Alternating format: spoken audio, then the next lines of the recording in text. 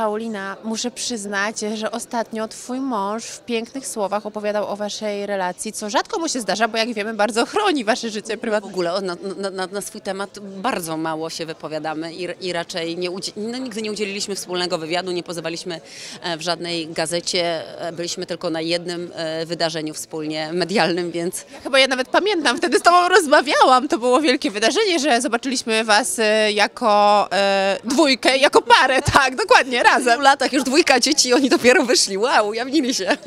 No dobrze, ale do czego zmierzam? Zmierzam w sumie do tego, że e, z tego wywiadu wynikało, że on na początku był w ogóle bardzo skryty i że ty mu pomogłaś, aby tak się bardziej otworzył na świat. Faktycznie tak było? Wiesz co, czy on był skryty? On na pewno, y, jakby jego postać w mediach zawsze wiązała się z jakąś tajemnicą, co z jednej strony jest bardzo interesujące, no ale z drugiej strony, wiesz, jakby nie patrzeć, no nie ukryje faktu, że ma żonę, ma dzieci i na pewno to odcisnęło ogromne piętno na jego życiu. Ma więcej powodów do tego, żeby się tym życiem, wiesz, cieszyć, żeby tworzyć. On zawsze mówił, że, że w momencie, kiedy pojawiły się dzieci w jego życiu, o których zawsze marzył i o rodzinie, to działa jeszcze z jakąś zdwojoną siłą. Chce być, e, wiesz, zdrowy, y, y, być w pełni sił. E, To bardzo miłe, że tak o mnie powiedział. No ja jestem, tak jak, wiesz, jestem taką osobą, no znasz mnie od, od wielu lat, jestem zawsze otwarta i ja zawsze mówię o jedno zdanie za dużo, a on zawsze mówił o jedno zdanie za mało, więc się spotkaliśmy nagle w połowie drogi. A ty zauważyłaś na przykład tą zmianę? Wiesz co, ja nie, no bo ja znam go prywatnie i, e, i na pewno e, ja go znam zupełnie, z zupełnie innej strony niż wy go Państwo znacie e, z mediów. Ja cenię w nim to, że on jest takim dla mnie zawsze dobrym buforem wszystkich emocji, które się dzieją w tym show biznesie. Jak przychodziłam do domu i mówiłam, ojeju, a to się stało, albo ten ktoś powiedział, albo coś tam napisał, i tak, Paulinko, jeżeli ja ci powiem coś, to znaczy, że wtedy masz się zastanowić, albo powiedzą ci to dzieci, twoja przyjaciółka, twoi rodzice. A jeżeli ktoś tam coś powie, albo coś tam napisze, to się w ogóle tym nie przejmuj, bo to i tak nie ma wpływu na twoje życie.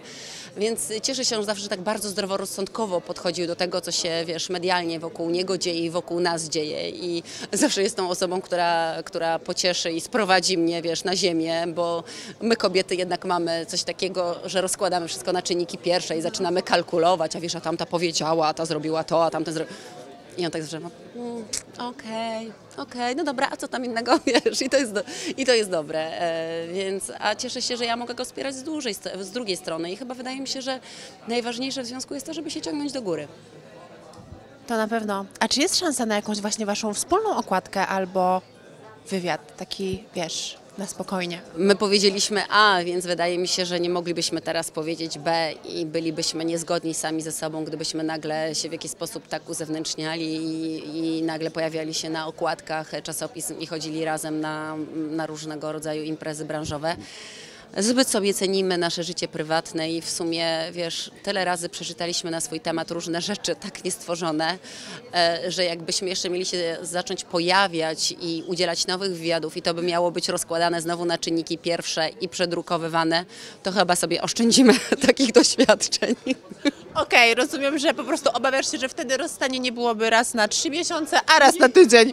E, Albo wręcz wiesz, no e, jakby po co mówić, jakby my wiemy jak jest i chyba nie potrzeba po prostu się nad tym w jakiś sposób tak wiesz, ro, ro, rozwodzić i, i, i e, wydawać na ten temat jakieś opinie. To absurd, nie, jakby nie chcemy, żeby nikt nas wiesz oceniał, bo żyjemy razem już tyle lat i, i jest okej.